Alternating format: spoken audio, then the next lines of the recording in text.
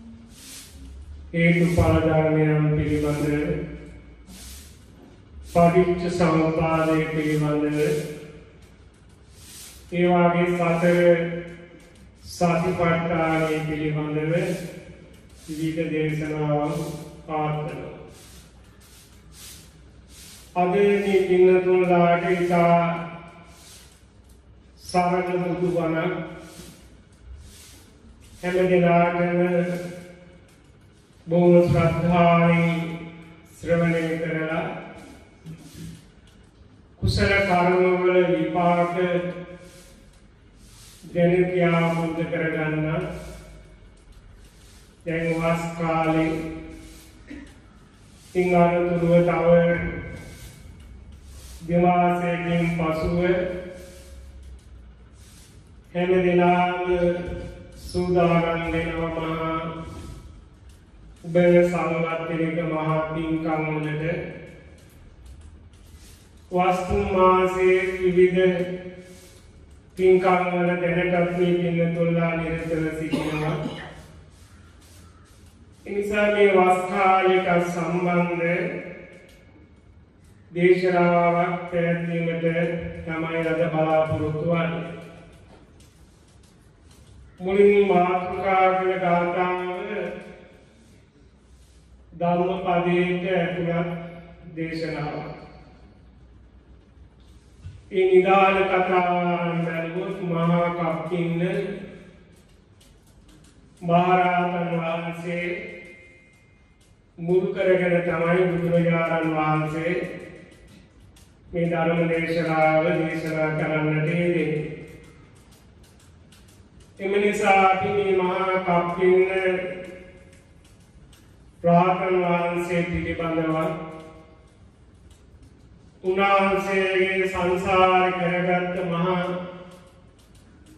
පින්කම් පිළිබඳවත් ධර්මයේ සඳහන් වෙලා තිබෙනවා. බොහොම හැම දෙනාම දැන කියාගත යුතු අවබෝධ කරගත යුතු කරුණු උන්වහන්සේලාගේ සසර කතාවත් තුළින් අපට දකින්න පුළුවන්. එම නිසා අපි මෙන්න මේ මහා කප්පින්න රහතන් වහන්සේ නිවනට පත්වීමත් උන්වහන්සේගේ ප්‍රීති වාක්‍යයක් ඒ අරමුණු කරගෙන භාගතුන් වහන්සේ දේශනා කරන ධර්මය ආදී කරුණුනි ගාථා ඔස්සේ අපට අද මේ දේශනාවෙන් ශ්‍රවණය කරන්නට පුළුවන්. පින්නතනේ ලෝකයේ නිර්වාණ ආපෝදේ ලබන බෝධි තුනක් අපට දකින්න ලැබෙනවා. මේ ළඟටදී ධර්මයේ ප්‍රශ්න කළා ස්වාමීන් වහන්සේ නමක් දහම් දේශනා කරන අවස්ථාවේ තුන්තරා බෝධීන් එක්තරා බෝධයකට පැමිණ නිර්වාලාබෝධය ලැබීම පිළිබඳව කරුණු දේශනා කළා කියලා. ඉන් තරුණ දරුවෙක් ඒ දැන දරුවාට ඒ පිළිබඳ අවබෝධයක් නැහැ. ඒ නිසා අපි පිළිබඳව පැහැදිලි කර දුන්නා. තුන්තරා බෝධිය කියන්නේ සම්මා සම්බුද්ධත්වය පසේ බුද්ධත්වය ඒවාගේ අරිහත්වයට පත්වෙලා නිර්වාණ අවබෝධය ලැබීම. තකොට බෝධිය කියන්නේ රුක්ෂයක් නොවේ. චතුරාර්ය සත්‍යය අවබෝධය. සාරා සංකේය අටා සංකේය සෝලසා සංගේය කල්පලක්ෂ ගණන් පෙරුම්පුරණ මහා භූසත්තුරු සම්මා සම්බුද්ධත්වයට පත්වෙලා උන්වහන්සේලා චතුස්සත්‍ය ආබෝධය ලබන. ඒමනං ඒ තමයි ලෝකය තියෙන ඉහළම නිර්වාණාබෝධය ලබන ක්‍රමවේදය. ඒ බුදුවරුන් ශාසනයක් පිහිටුවන. ලෝකයට චතුස්සාතිය දේශනා කරනවා. බික්කු බික්කුණී උපාසික උපාසිකා වසේ සිව්වරම් පේස ඒ ශාසනවල පහළ ති ලෝකය කියන ඉතාම වටිනාම අවත්තාව තමයි ලෝතුරා බුදුවරු මේ මහා පෘතිය තලයේ පහදලිය. මේ මහා භද්‍රකල්පය බුදුවරු පහස් පස්සම පහලීමට නීමිතයි සිවුනවක් පහළ වෙලා අවසාන. අපි මේ සුවන බුද්ධ ශාසනය තමයි ශ්‍රාවක ශ්‍රාවිකාවන් පැවිදි ගිහියාය වසයෙන් මේ ධර්මය පිළිපටි. පසේ බුදු බව පසේ බුද්ධත්වයට පත්වෙන්නේ වෙන බාහිර කිසි කෙනෙකුගේ උපකාරයක් නොමැතිව තමා විසින්ම ව්‍යාසංගේ කල්පලක්ෂයක් පාරමී ශක්තියෙන් පුරලා පසේ බුදුත පුදු බව ලබාගන්න. හැඩැයි පසේ බුදුරු චතුරාර් සත්‍ය ධර්මී දේශනා කරමින් ලෝකේ අවිද්‍යාන්කාරය දුරු කරලා ශාසනය පිහිටුවා වදාරන්නේ නැහැ. දැන් පින්නතුල්ල අහලා තිබෙනවා ලෝකයේ එක කාල සීමාවකදී එක බුදු කෙනෙක් සම්මා සම්බුදුවරයෙක් පමණ දැක දැනගෙන කියලා. පස්සේ බුදුරජාණන් වහන්සේලාට හිමන කොච්චර වැඩ ඉන්න පුළුවන්. දිනම දහනම සියනම පන්සිය දහසක් පසේ බුදුරජාණන් වහන්සේලාට ලෝකේ එක මොහොත දකින්න ලැබෙන සීමාවේ ඒවාගේ සංඛ්‍යාත්මක ප්‍රමාණයක් නැහැ. දැන් බුදුහාමුදුරු ධර්ම දේශනා කරන වෙලාවේ බණහා නිර්වාණාභූති ලෝතුරා තථාගතයන් වහන්සේගේ ශ්‍රාවක ශ්‍රාවිකාවන් වෙනවා. පසේ බුදු කෙනෙක් දහම් දේශනා කරන අවස්ථාවේ බණහලා ඒ අනුව පිළිපැදලා යම් පිරිසක් නිර්වාණාභූතය ලැබුවොත් ඒ අය හඳුනන්න පසේ බුදුරජාණන් වහන්සේලා යංයන් අවස්ථාවල එබඳු යම් පිරිසක් බුදුහාමුදුරුවන්ගෙන් නිවන් මඟ මොකක්ද කියලා ඇහුවොත් ඒ ඇත්තන්ට කරුණු කියන්න. ඒ බණ අහනවා. ඒ ධර්මයේ අහලා ඒ අය යමු පිළිපදිනවා. පිළිපැදලා චතුස්සත් ධර්මය ආબોධ කරගෙන අරිහත්ත්වයට පත් වෙනවා. දැන් මේ අරිහත්ත්වයට පත් වුණු අය සරකන්නේ ශ්‍රාවකයන් එනවා. රාතන් වහන්සේලා කියලා. ඒ අය හඳුන්වන්නේ පසේ බුදුගුරුවේ කියලා. ඒ අයත් පසේ බුදුගුරු.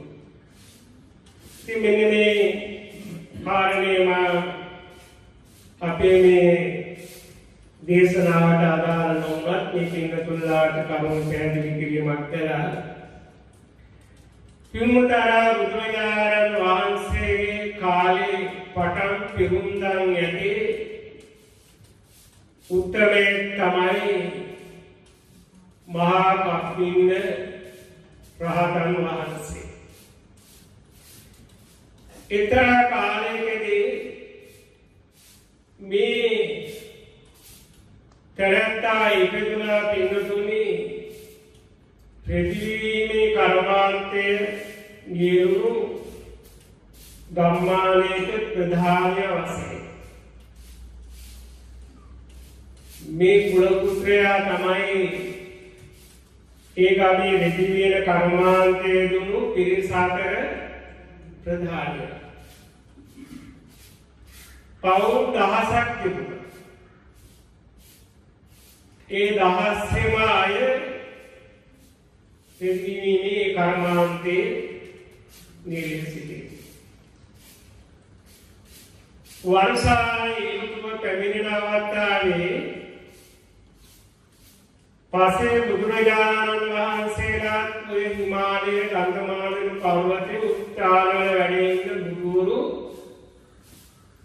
ඒ වර්ෂා කාලේ පින්ඩපාතේ වඩින්න දානය සපයා ගන්න අපහසු නිසා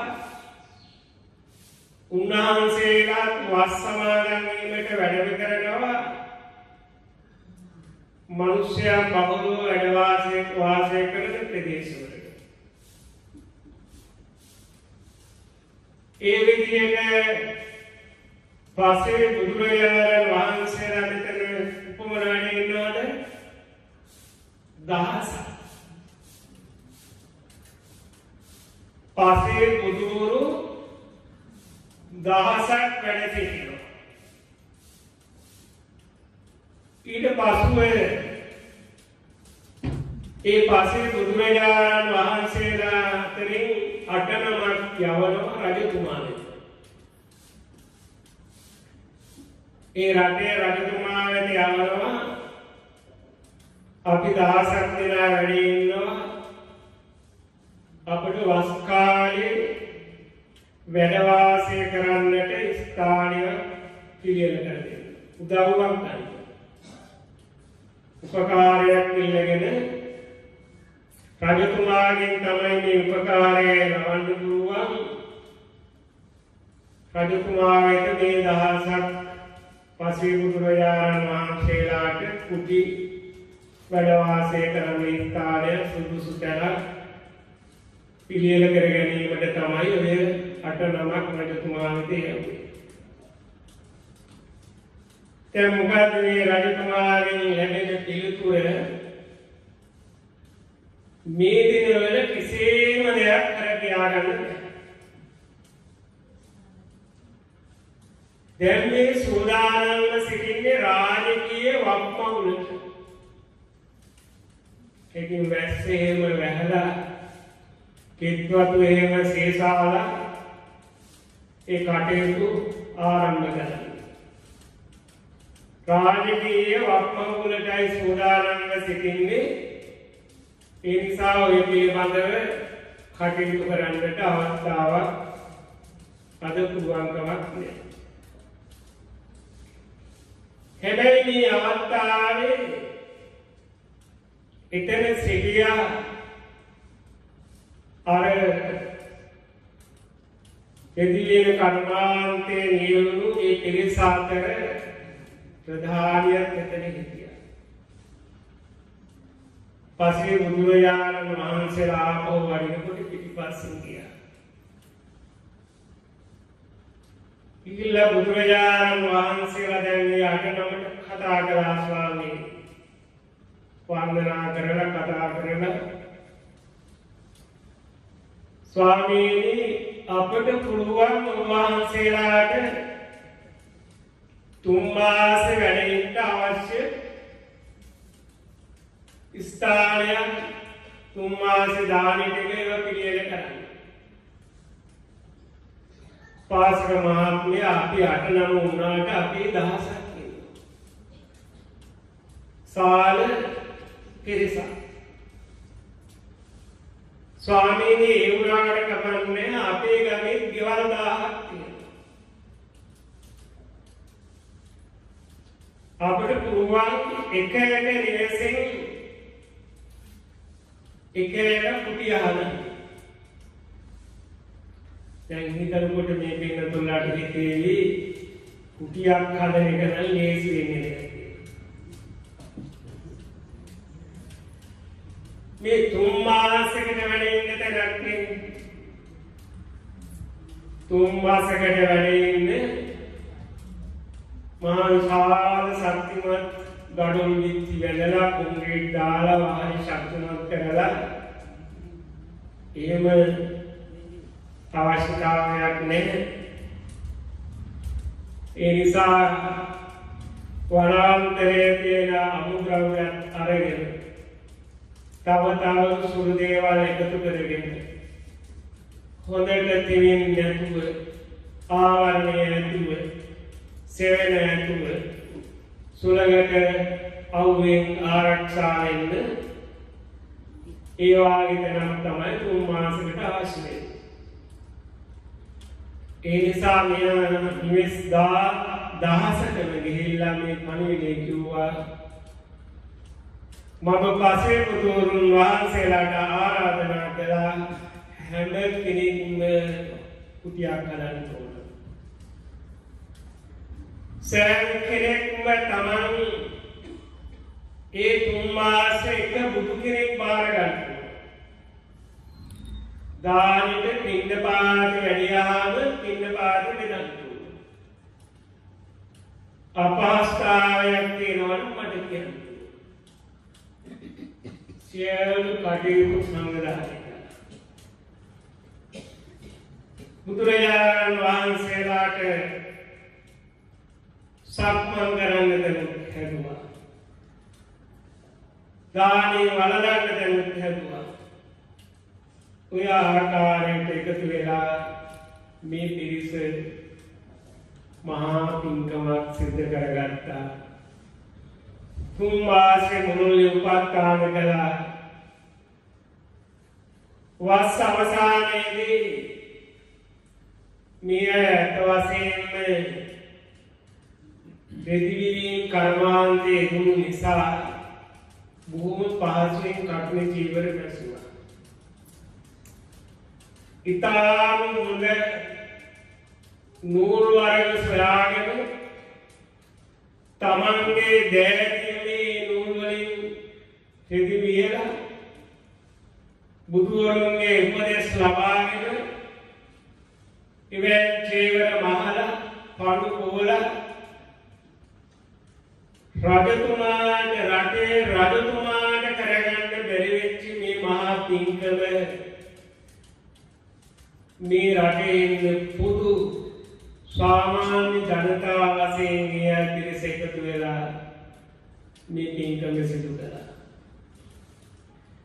වස්තුන් මාසයේහි කටින චේවරයන් පූජා කරලා එය පුදුමාකාර ජීවිතයෙහි නිරාමිස සොය සැනසිල්ල විදිමින් මිය පරවල ගිහිල්ලා ඝන දේව පුත්‍රයයි කියන. මෙන්න මේ සියලු දෙනාම එකටම දිව්‍ය ලෝකේ ඉපදුණා. එකතු කොට හිතන්න නැති එහෙනම් එකටම මැරෙන්නේ නැති. එහෙම සිද්ධයක් ඕනේ නැහැ. මේ පෙරේස ඒ නායකයා යටතේ ඒ විදිහටම මීයාගයාට පස්සේ ප්‍රතිසන්දිය ලැබුව ගන්න දේව පුත්‍රය කියන්නේ එකටම ඒ විදිහේ ප්‍රතිසන්දියක් සිද්ධ වුණු නිසා. දැන් මෙතනදී අපිට ඊටාම වැදගත් දෙයක් තියෙනවා.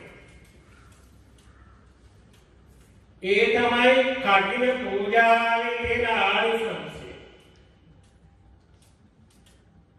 ඔය සාමාන්‍ය කුසල කර්මයක් තිබෙනවද පංචානන්තරයේ කර්මය හැර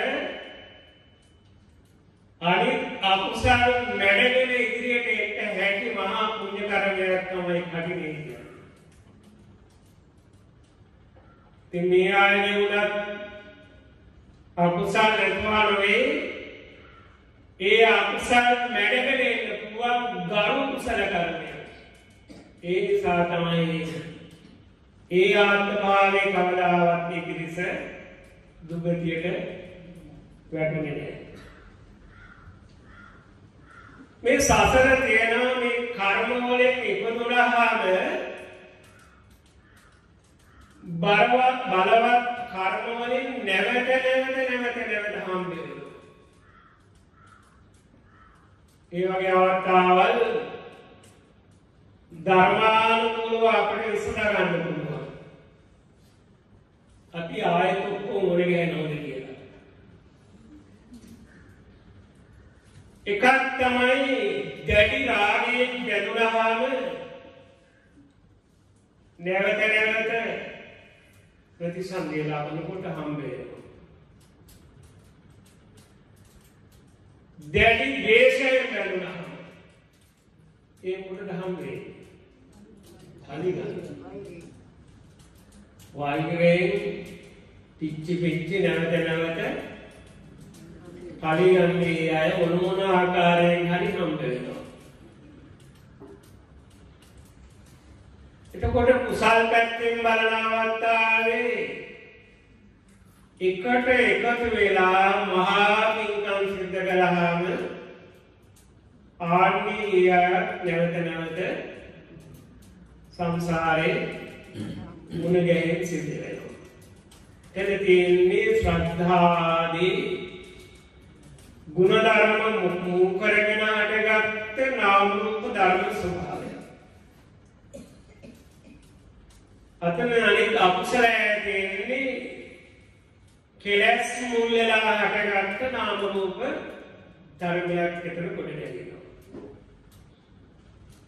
ඉතින් මේ ආකාරයට මේ පිරිස දෙව්ලෝ ඉපදුනා ඊට පස්සේ කාලයක් ගෙනගෙන යනවා.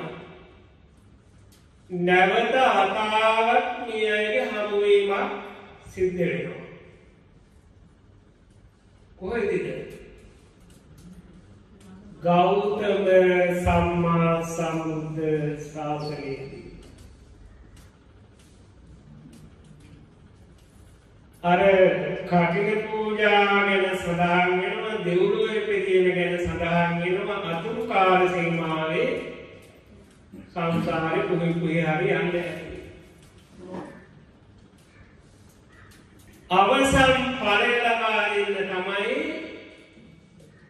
ගෞතම සම්මා සම්බුද්ධ ශාසනය පහළ වුණාට පස්සේ මේ ඇත්තෝ ආයෙත් අර විදිහටම එකට සම්බන්ධ වෙන්නේ ජම්බුද්දීපේ ප්‍රතිසන්දිය ලබනවා. හැබැයි කාශ්‍යප බුදුහාමුදුරුවන්ගේ කාලෙ හම්බ වෙලා තියෙනවා.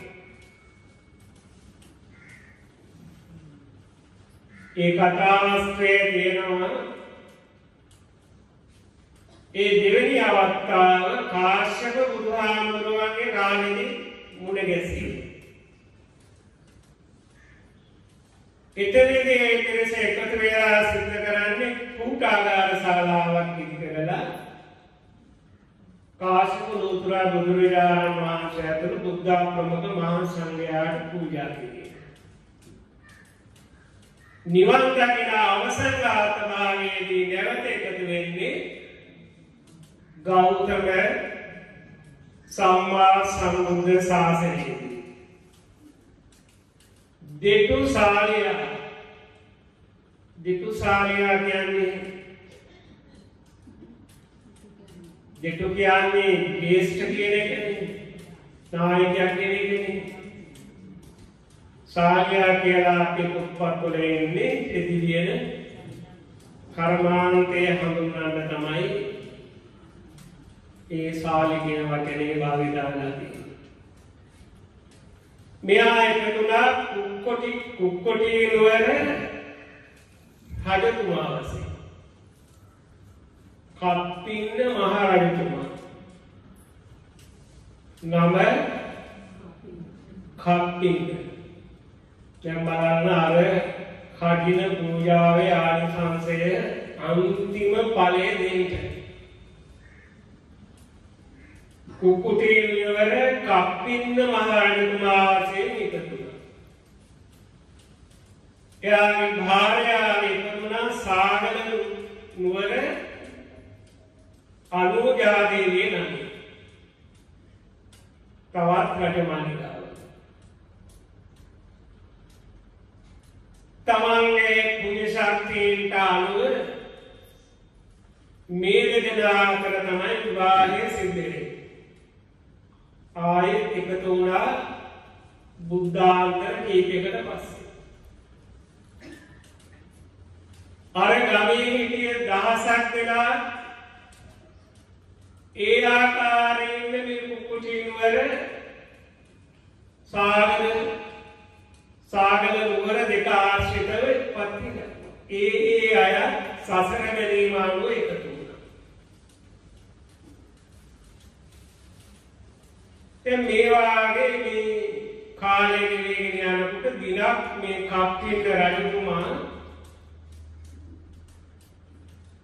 තමන්ගේ එබඳුරු වශයෙන් දැන් පිරිවර වශයෙන් ඉන්නේ එකට කර්මාන්තයේ දුණු අර පිරිමි ටික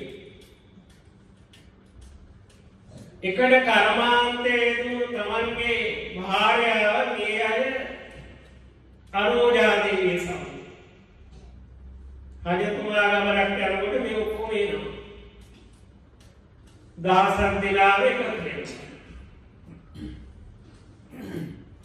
එදා රජතුමා නුවර සෙරි නරඹන්නට කියලා අස්වැයයිට නැගිලා ගමන් කරනකොට රජතුමාට දකින්න ලැබෙනවා වෙනත් රාජ්‍යයකින් පැමිණිය වෙළඳ කණ්ඩායම. රට රටවල් අතර සමීපයේ තියෙන වෙළඳාම් සිද්ධ වෙනවා. දැන් රජතුමා මේ පිරිස දැකලා කතා කරා.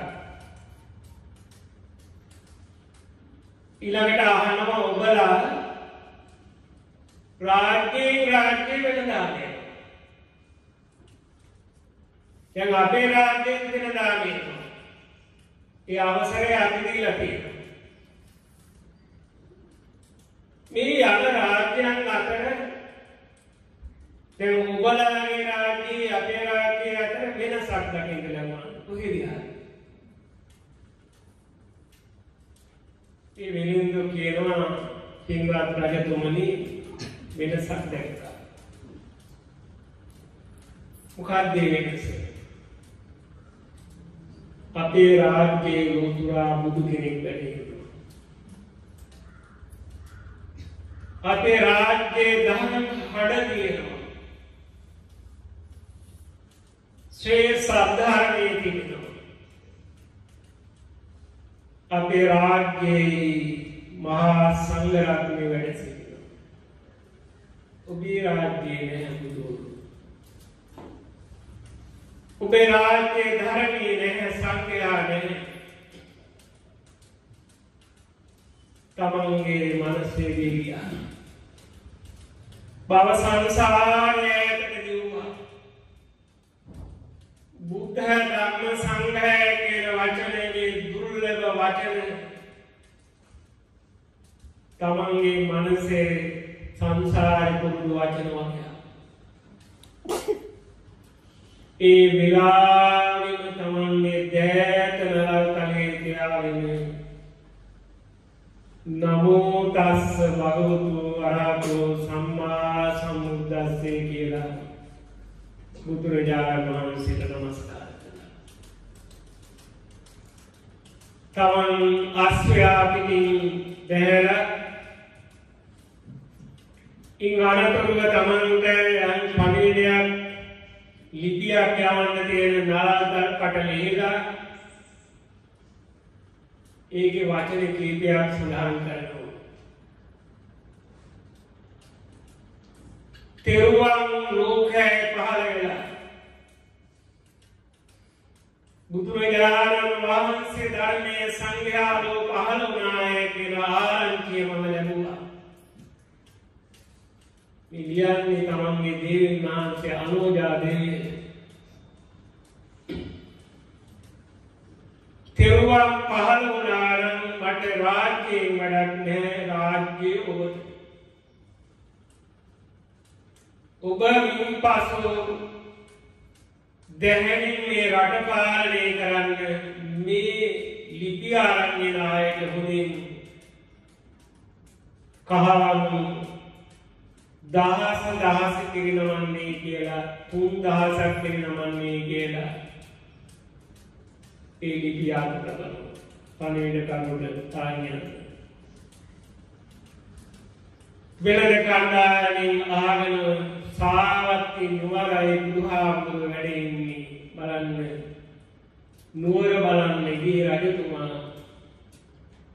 රාජ්‍යයේ මුහොතින් අතහැරලා සැවැත්නුවර දෙවුරම් මහාලේරට ගියා අර තමන්ගේ දහසක් දෙනා ඒ අයත් ඒ අමුම ක්‍රියා කළා.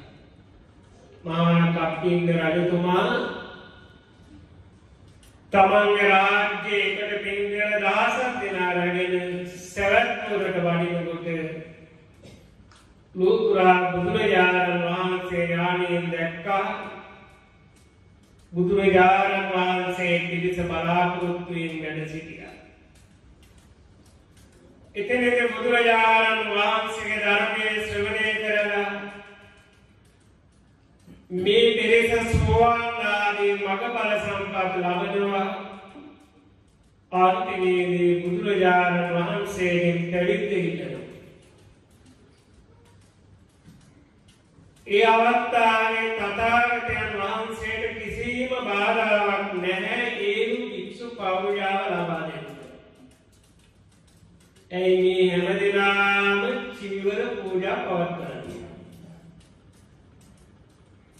මේ හැමගේ දහසක් දෙනාම කටින පූජාව කරපු අය.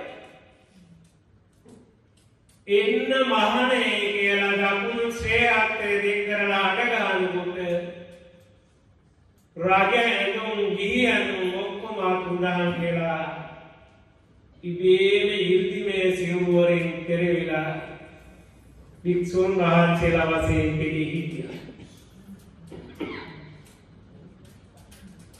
තැන් බලන්නාර ලිපිය රැගෙනගිය ඒ රජකුමාරගේ දූතයා අනුජා දේවයට මේ ලිපිය ලබාරුන්නාම අනුජා දේවේ ලිපිය කේවලා අපේ රජතුමා ඔබලාට සැලකුවා මදි. මේ ගාන තව තුන්ගුණයකින් වැඩි කරන්න. ඒ ගාන තුන්ගුණයකින් වැඩි කරලා ඒ පිරිසට මිල ලබාදිල්ලා අර පිරිසගේ භාරයාවන් දහසක් දෙනා කැඳවල රජතුමා නිබඳු තීරණයක් ගාන්තිය. අපි රට පාලනය කරනවද මොකද කරන්නේ? අනෝජාදේවේනි ඔබතුමියගේ තේරණය ඒනම් ඉතින් අපිත් යම් මේ රාජ්‍ය අතහැරලා යමු. අපි ගිහින් මෙහෙදි ශාසනය පැවිදි බලන්න ඒ හැම දෙනාමත් ඒ රාජ්‍ය අතහැරලා ගියා. දැන් මේ පිරිස භාග්‍යවත් බුදුරජාණන් වහන්සේ වෙත පැමිණි නවත්තාවේ තථාගතයන් වහන්සේ අධිෂ්ඨානයක් කළා. දැන් මේ එන භාර්යාවන්ගේ ස්වාමියයි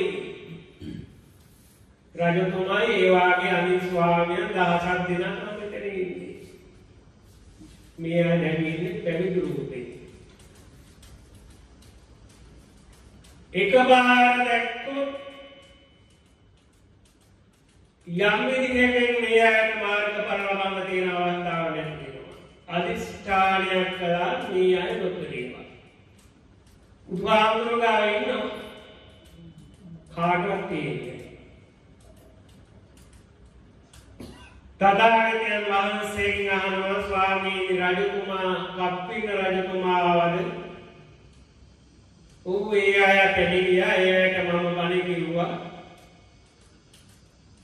ඔබලත් වාඩි වෙන්නේ කිව්වා. ඒ හැම දෙනාට දාන දේශනා කළා ඒ සියලුම දෙනා මාර්ගඵල ලැබුවා ඒ අය සෝවාන් වෙනකොට අර නොපෙනී බණ ඇහුවා දහසක් දෙනා බලන්න කොච්චර ලස්සනද මේ දේශනාව. කාටවත් පේන්නේ නැහැ ඒ තිරස වටේට ඉන්නවා. රහත් වෙනකොට බුදුහාමුදුරුවන්ගේ ඉදි බලය අතහැරියා. දැන් පේනවා. හැබැයි පේන්නේ ඔක්කොම රහතන් වහන්සේලා. මේ පෙරසේ ආවනවා ළඟට අග්‍රශ්‍රාවකයන් ශ්‍රාවිකාවන් වෙත මේ ශාස්ත්‍රනය ගිහින්ගේ අය පැවිදි භාවයට පත්වෙන. බලන්න අර රජකුමා තාම සංසාරය සමහර වෙලාවට සීසාර. එහෙමද වෙන්නේ නමුත් මේ හැම දෙනාම අර සිද්ධ කරගත්ත මහා පින්කමෙන් සසරෙන් ගෙතර වෙලා මහා ශ්‍රාවකයෝ වෙලා ශ්‍රාවිකාවන් වෙලා නිවන් දැකලා අවසానයි. ඉතින් මහා කප්පින්න රාතන් වහන්සේ නිතර වැඩ සිටින අවස්ථාවේ ප්‍රීති වාක්‍යයක් කියනවා. අහෝ සුකං අහෝ සුකං අහෝ සුකං කියලා. ඒක අර්ථය තමයි පාලි පාඩි අර්ථය අනේ සැපයි අනේ සැපයි අනේ සැපයි කියන. ඉතින් අර ප්‍රත්‍යඥයෙක් සෝන්හන්සලා මේක වරදවා තියුණු ගත්තා. ඉතින් බුදුහාමුදුරුවන්ට කැලිනිලි කළා. බුදුරජාණන් වහන්සේ සංඝයා මැද ඒ පැමිණිල්ල විභාග කරනවා. ඇයි ඔබ අහෝසකං අහෝසකං කියලා උදන්නන්නේ මේ අනිත් භික්ෂුන් වහන්සේලා කියනවා මේ තමයි අර රජ සම්පatti මතක් වෙලා. ඒ ගැනද වහන්සේ මේ අහුත් සැපයි කියන්නේ. ඉතින් කිව්වේ අනේ ස්වාමීන් ලෝතුරා බුදුරජාණන් වහන්සේ මහා ගිනිගොඩක් වාගේ ජීවත් වුණු ඒ රජසැප විඳින කාලේ නොයෙක් දෙනාට හිස ගසාදාන්න නියම කරනවා. දෑත් කපාදාන්න නියම කරනවා. දෙතිස් වනන වන්දනෝට පත් කරන්න නියම කරනවා. මේ වගේ මහා ගොඩකින් ගිනි ගොඩකින් නිදහස් වෙලා කෙලෙස්වලින් මිදිලා සිතේ පහළවෙන ලූතුරු ස්වයටයි අහුසුකන් අහුසුකන් කියලා මම ප්‍රකාශ කරේ දැන් ආන්නේ අවස්ථාවේ බුදුපියාණන් වහන්සේ දේශනා කළ ගාථාව තමයි මම මුලින් දේශනා කළේ. මං හිතන්නේ සමහර දෙනා මේ ගාථාව දන්නවා ඇති. ධම්ම පේතේ සුඛංසේති. විප්පසන්නේන චේතසා. ධම්ම පීති කියන්නේ ධර්ම ප්‍රීති කියන එකයි තවත් අර්ථයක් තියෙනවා. පාණය කිරීම කියන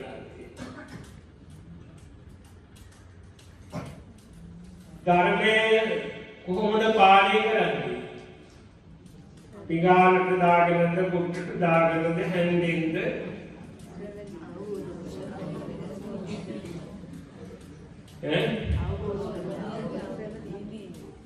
ඔවු. ධර්මය පානය කර දැන්නේ පින තුල්ලගේ ධර්මය පානය කරනවනේ. ධර්මය අහනකොට අර රසවත් ආහාරයක් අනුභවය කරලා බඩ ගේනවා වගේ හිත කිරෙනවා හිත ධර්ම ශක්තියෙන් කිරෙනවා. ඒ නිසා ධර්මය පාලනය කරන අය සුකන්සේති ඒ අර්ථය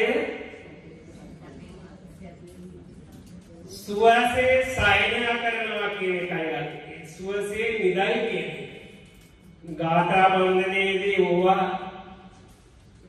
අර කවි හදනවා වගේ අර්ථ සැගවෙලා තියෙනවා.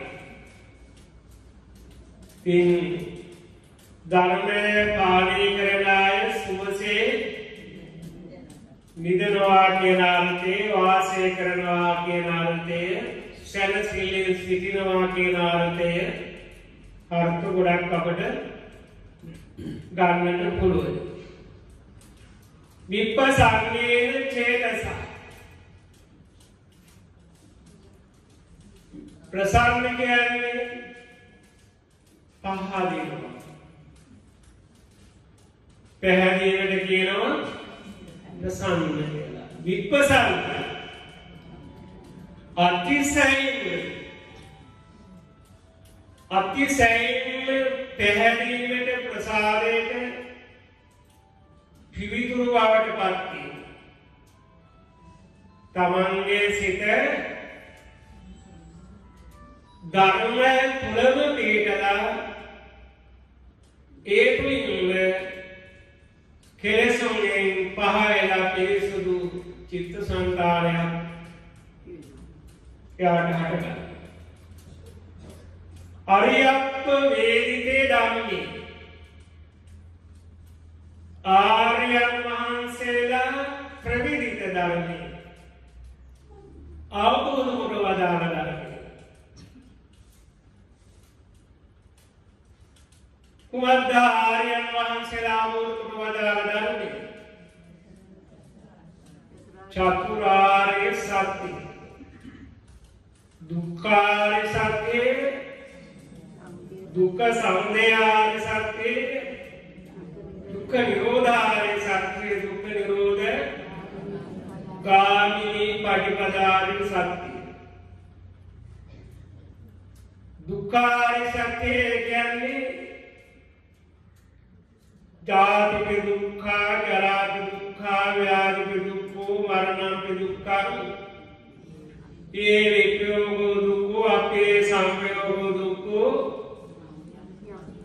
යම්පිච්චන් නනගති තම්පි දුක්කාරු සංගිත්තේන පංචුපාදාන කන්දා කියන මේ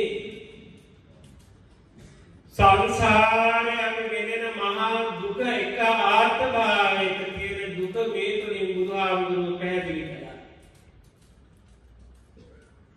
ඉතින් මේක ආර්ථභාවයක මේ පින්න තුල්ල ඔය දුක් රැස විදිවින් තමයි ඉන්නේ.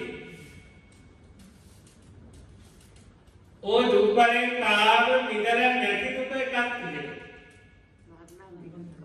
මරණාන්ත දුක්ඛං කියන. ඒ දුක තාම වෙන. අනිත් ඒවා ඔක්කොම දැන් විඳලක් තියෙනවා, විඳින්න සිටිනවා, තව ඉස්සරහට මේ පංචවාදාන ස්කන්ධයේ තියෙන කර්ම විඳින්න යනවා. එතකොට දුක සමුදයාර සත්‍යය මොකක්ද? යායන් තන්නා පූනුම් බයිකානන්තිරාග සාගතා තත්ත තත්රාදිනන්දිනී සෙය්‍යතේදම් කාමතන්නා බවතන්නා විභවතන්න ඕන්න මැවුකාරය සංසාරය මැවුකාරය දිවියන් වහන්සේ ඒස්වරය මහාබ්‍රහ්මය කවුද? කාමතන්නාව බවතන්නාව විභවතන්නා ඔය ස්වභාවේ තමයි මේ දැන් අපි ලබාදලා තියෙන ලබාගෙන තියෙන මනුස්ස ලෝකෑන මේ කාම භවයේ අපි සිත පිහිටුවන. ඉතින් අපි එතන ඉපදුණා ධ්‍යාන වැඩුව අය රූප භවයේ සිත පිහිටුවා ප්‍රථම අධ්‍යානයේ ද්විතිය අධ්‍යානයේ තතිය අධ්‍යානයේ අල්ලගත්ත පංචම අධ්‍යානයේ අල්ලගත්ත. ආකාසානත්‍යාදින අල්ලගත්ත. හිත පිහිටුවා ගත්ත ධ්‍යානයේ තිබුණ එතනින් යායතන පූර්ණ භාවික පුනර්භවය ඇති කරන්නට හැකි නම් දිරාවේ ඒ චිත්ත ඇතුළ තිබුණා. දුක නිරෝධාරය සත්‍යය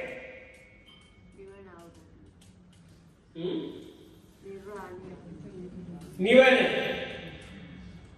නිවනේ කියන්නේ කිසිම ක්ලේශයක් තන්හාාවේ තුරු නොකොට අසේස විරාග නිරෝධූ චාපෝ පටිනිසක්ගෝ මුක්ති අනාදු ඉතාම වටින සිතට ලොකෝ සැනසිල්ලක් ගෙන දෙන වචන ටිකක් පින්න නිරෝධූ නිබ්බානං චාගෝ පටිනිසක්ගෝ මේ සියල්ලෙම කියවෙන්නේ අනිත්‍ය දුක්ඛානාත්මය කියන මේ සංස්කාරයන් යථාර්ථය දැකීමෙන් මිදීම පිළිබඳව පහළ වෙන පහළ වූ වචන කීපයක්.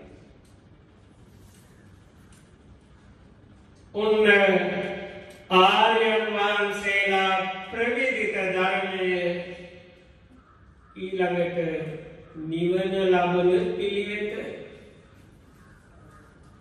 දුක දුකාට ගන්න හේතුව දුකින් මිදීම මිදීමේ මාර්ගය. සම්මාදිට්ඨි සම්මා සංකප්ප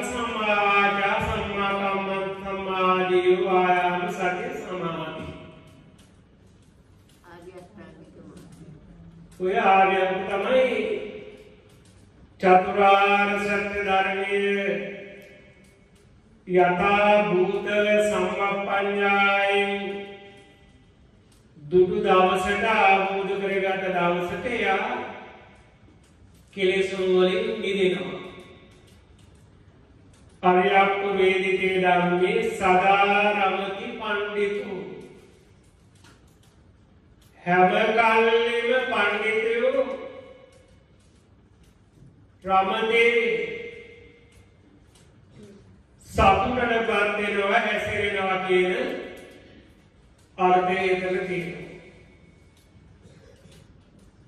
දැන් එහෙමනම් බලන්න ප්‍රත්‍යඥ ලෝකවාසී සත්වයෝ ධම්මපේතේ සුතංසේතේ කියලා මෙතනදී ආර්ය මනසේලාගේ ධර්මයේ පාලනය කළේ චතුස්සත් ධර්මයේ පාලනය කළේ ආර්ය මහන්සේලා සුවසේ වාසය කරනවායි නැත්තම් සුවසේ සයනය කරනවායි කියලා දේශනා කළා. ප්‍රත්‍යඥයන් මහ ප්‍රත්‍යඥයන් එලෙන්නේ කොහෙද එනවා? ධර්මයේද පාලනය කරන්නේ ඇස කරුණාසේ දිව ශරීරයෙන් ගලාගෙන ක්ලේශයන් නිසා උපදින මොන ප්‍රේතයේද? මොන සතුටද? ඒකට වචනයක් තියෙනවා. සාමිස සතුට. සාමිස සතුට තමයි වින්දනය කරන්නේ. නිරාමිස සත්‍යනන් ඒක ක්ලේශයක් තියෙන්න බැහැ රාතන් වහන්සේලාට එනම් කෙලෙස් හටගන්නේ ඉන්න තුල්ලාට පුළුවන්ද සුවසේ නිදාගන්න? පුළුවන්. කොච්චර ප්‍රශ්න තියාගෙනද ඉඳලා ඒව නම් දැස් මෙතන වැටිච්ච ගමම උඩටම දැස් පේන්න එකපාර හොඳ නිින්දක් ගන්න. එහෙම නෑනේ අවුල් මුඩවල් ඒ වගේ කල්පනා කරන්න දේවල් ලියා ගන්න දේවල් දරුවෝ ගැන රැකියාව ගැන ඊට කඩම් ගැන නොයෙක් දේවල් නොයෙක් ප්‍රශ්නවල නින්දට ගිහිල්ලත් කරන්න දේවල් කතා කරන්න දේවල් කල්පනා කරන්න දේවල් ලියා ගන්න දේවල් ඒ නැති උදේට සුවනින්දක් ගිහිල්ලා නැහැ.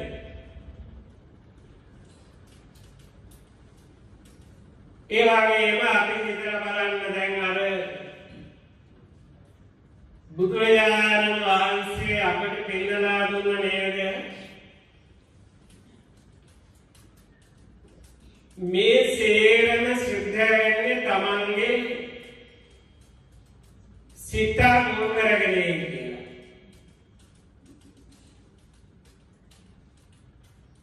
රාතන් වහන්සේ කියන්නේ සිත අපිරිසුදු වෙන සේරම කෙලෙස් ප්‍රහීණය වුණ නැවත හට නොගන්නා වූ ස්වභාවයට ක්ලේශයන් පත් කළ උත්තරේ. උපමාවට පින්වලා දීලා තියෙනවා. තල් ගහකට කුල් ගහකට වගේ අපුණක් වැදුනා වගේ.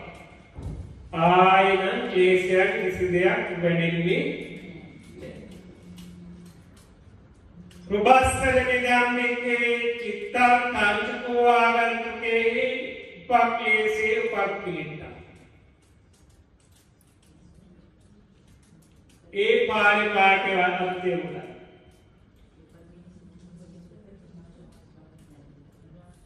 නිතර අහන්න බලන්න.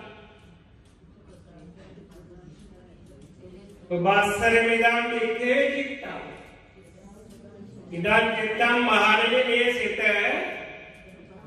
ප්‍රභාස්වරයි ප්‍රභාස්වරයි කියන්නේ පිරිසිදුයි පැහැදිලි මේ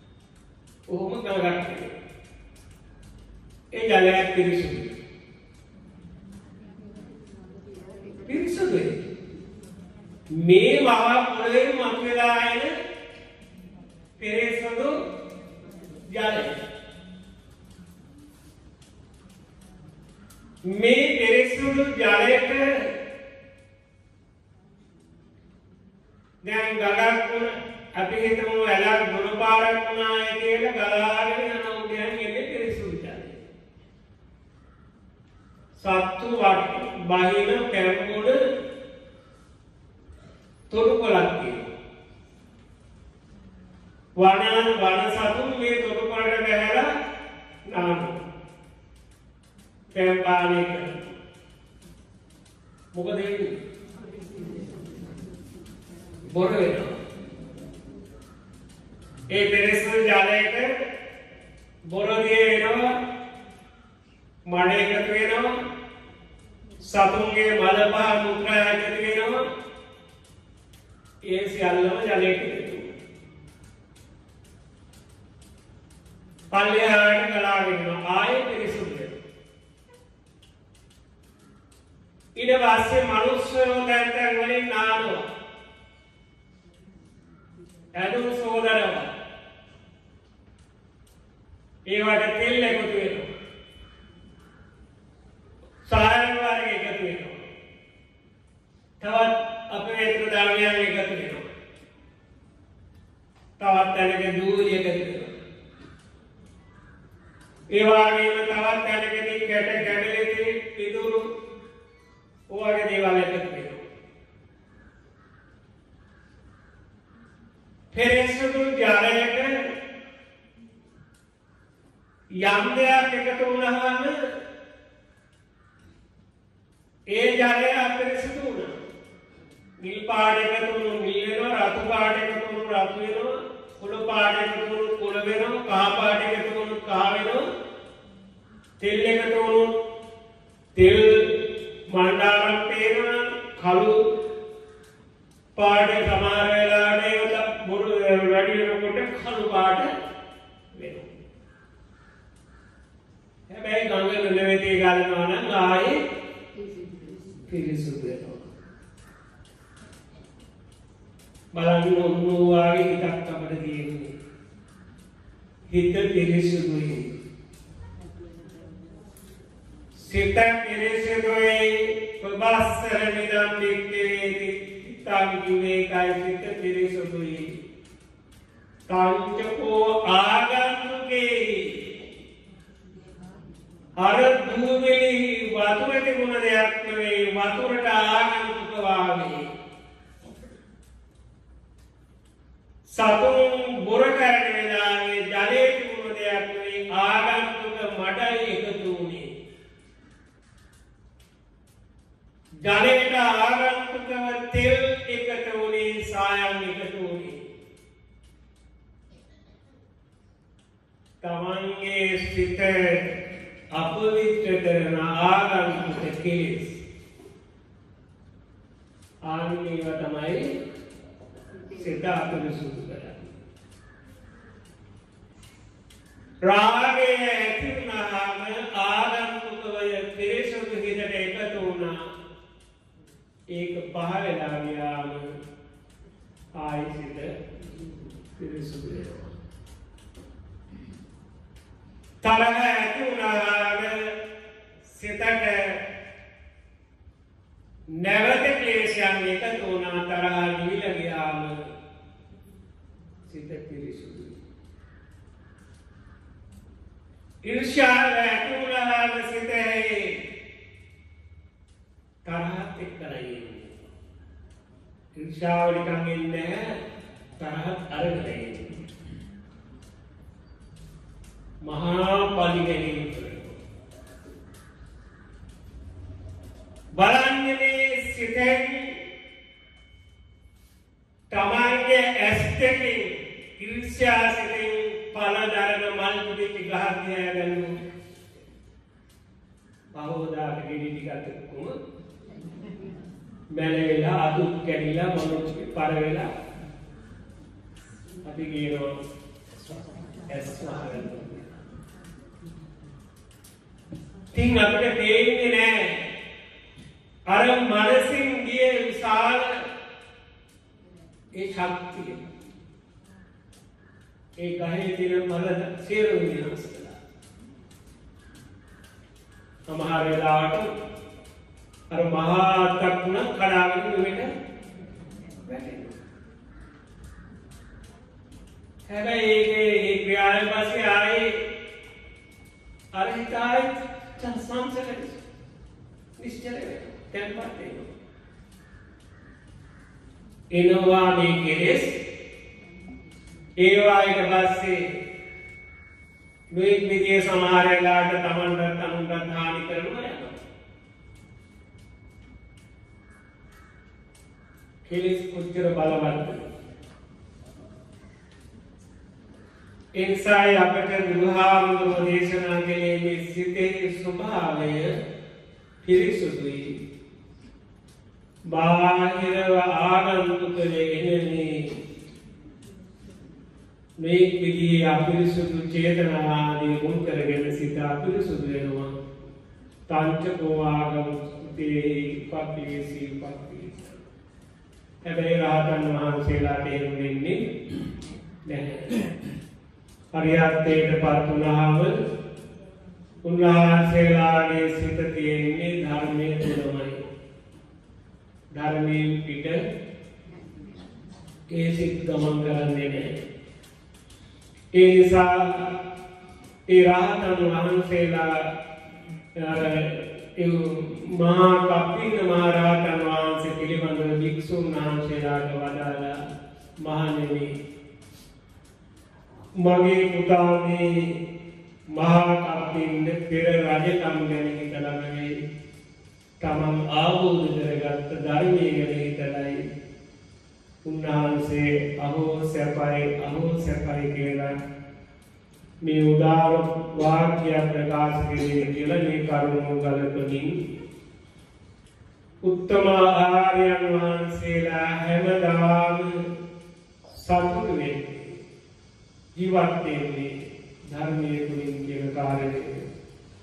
දේශනා කරමින් මේ ගාථාව දේශනා පදාලා ඉන් කරුණු රාසියක් ගන්න තියෙනවා. ඒවාගේ අපි සසර කරගන්න බලවත් පින්කමුල විපාක අපට බොහෝ කාලයක් මේ සංසාරයේ බුදුරුන් පහළ වෙන කාලේ කවදාවත් දැන් මේ කතාවත් නොදී ඇදලුවාම කාශ්‍යප බුදුහාමුදුරුවොත් හමු කාලෙත් මුණ ගැහුණා. ගෞතම බුදුහාමුදුරුවන්ගේ කාලෙත් මුණ ගැහුණා. ඒ ධර්ම ශක්තිය තියෙනවා. ඒ නිසා අපිට මේ උතුම් ධර්ම ශ්‍රවණයේ පින පරම ශාන්ත වූ අමාමා නිර්වාණ ස්වභාවෝදය පිණිස හේතු වේවා. කියලා ප්‍රාර්ථනා